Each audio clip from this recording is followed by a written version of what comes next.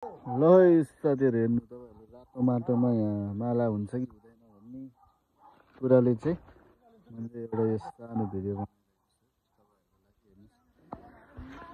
रातो माटो छ यहाँ।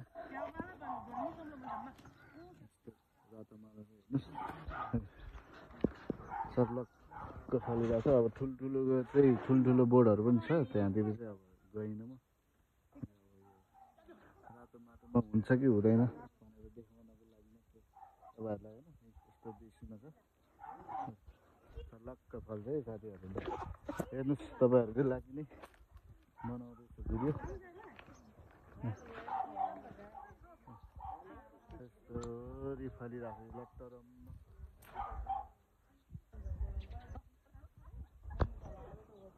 ल है त।